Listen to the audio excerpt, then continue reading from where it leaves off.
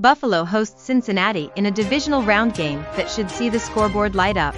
A 76-year-old woman is behind bars in Volusia County after being accused of shooting and killing her terminally ill husband. Germany's foreign minister said on Sunday her government would not stand in the way if Poland wants to send its Leopard 2 tanks to Ukraine, in a possible breakthrough for Kiev which wants the tanks for its fight against Russia's invasion.